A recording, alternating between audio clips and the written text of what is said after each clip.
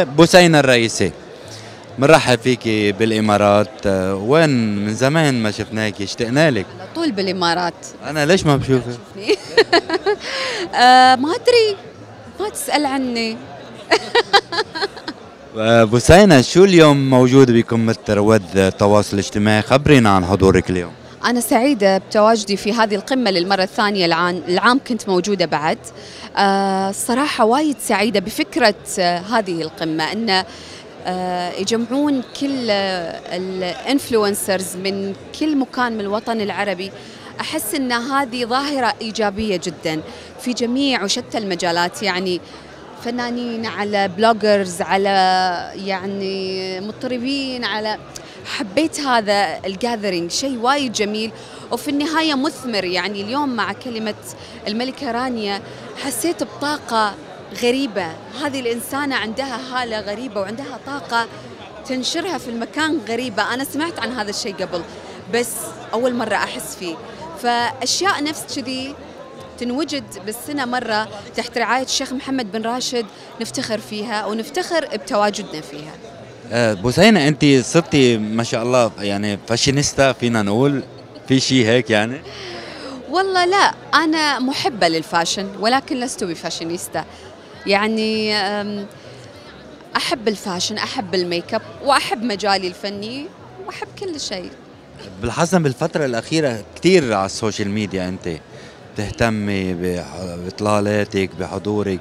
يعني يومية style آه، لبس يعني هذا بده وقت وبده اهتمام يعني. شوف هذا اهتمامي من زمان وايد بس كان ما في social media ما كان في انستغرام ما كان في سناب شات اليوم هذه المنصات directly نوصل لها لقلوب الجماهير.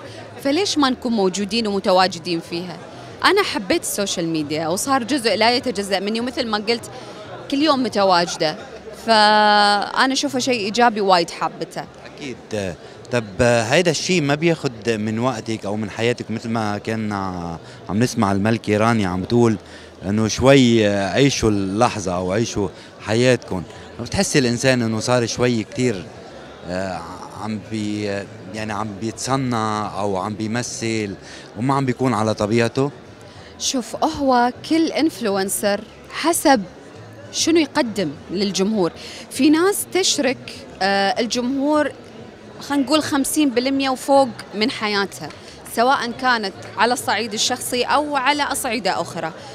أنا أشوف إن أنا ما وصلت هالمرحلة ولا قريبة منها.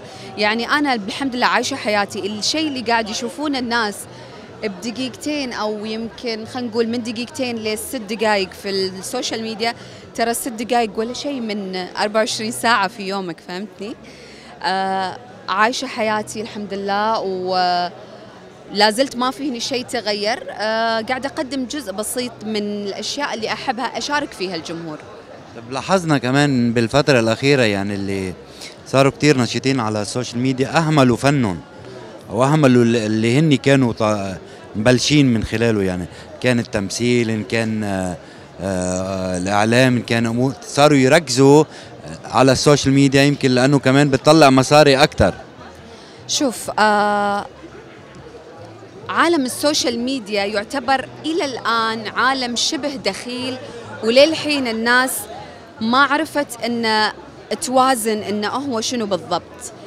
ف يعني كثير ناس هذا السؤال وايد انسألته أن إن. ال social media خذاكم من الفن؟ أنا ما أشوف إنه خذاني أنا متواجدة مثل ما أنا. عندي عمل كل سنة درامي أقدمه للجمهور مثل ما أنا معودته عليه ولكن نشطة في ال social media ولكن لا زلت متواجدة في مجالي الأساسي. فما أخذني ال social media من الفن ولكن لازم أنتقي شنو أقدم للناس.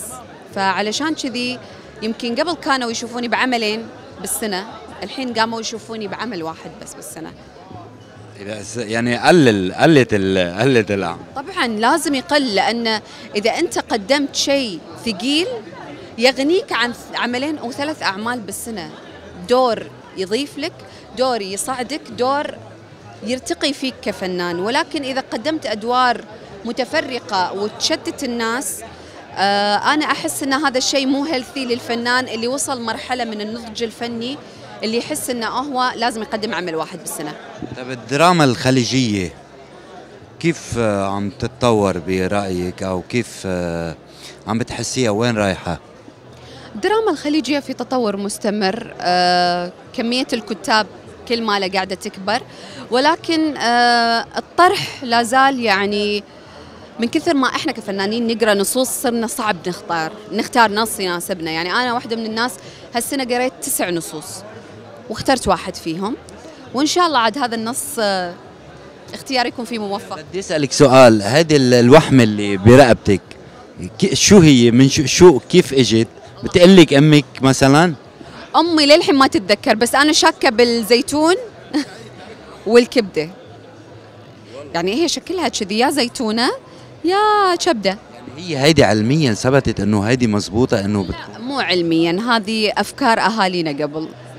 كنت بالقبل تخفيها أنا بتذكر بعدين صرتي هلأ يعني صارت عندك علامة كتير مميزة. عمري أخفيتها لا ما أخفيتها. يعني ما تقبلتها إي بالفترة الأخيرة بس ما أخفيتها. وكنت مفكرة إني أشيلها بس الحين مستحيل أشيلها. فكري تشيليها. بداية مجالي الفني إي. يعني كانت ما تعجبك؟